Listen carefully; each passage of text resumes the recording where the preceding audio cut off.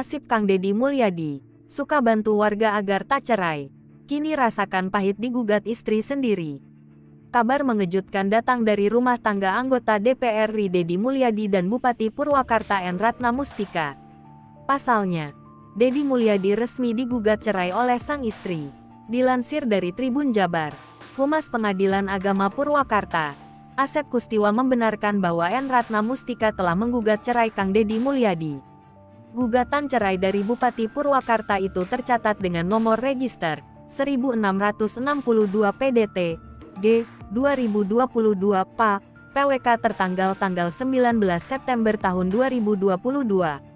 Rencananya sidang perdana perceraian Kang Deddy Mulyadi dengan Ambu N akan digelar pada Rabu tanggal 5 Oktober tahun 2022. Hingga berita ini ditulis penyebab dari gugatan cerai yang dilakukan oleh Ambuen terhadap Deddy Mulyadi hingga kini belum bisa dikonfirmasi. Selain itu juga Deddy Mulyadi selaku tergugat juga belum memberikan keterangan. Kerap bantu warga agar tak cerai. Diketahui, Kang Deddy Mulyadi kerap membagikan aktivitasnya di YouTube miliknya. Salah satu yang kerap dilakukan Kang Deddy yakni membantu warga yang ditemuinya. Tak hanya soal keuangan, Kang Deddy juga kerap membantu warga urusan rumah tangga. Salah satunya membujuk warga agar tak sampai cerai. Seperti yang pernah dilakukan Kang Deddy kepada seorang pengemis bernama Rasman pada tahun 2021 lalu yang ditayangkan di akun YouTube-nya. Bahkan, Kang Deddy sampai mendatangi kampung halaman Rasman di Desa Rawameneng, Kecamatan Blanakan, Kabupaten Subang, Jawa Barat untuk membujuk istri pengemis itu agar tak sampai bercerai.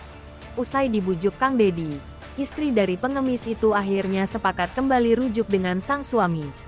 Bahkan, sebagai hadiah rujuk, Kang Dedi berjanji akan merenovasi rumah pasangan itu. Tak hanya itu, Kang Dedi juga memberikan uang rujuk dan tambahan modal untuk Rasman berjualan kerang agar tak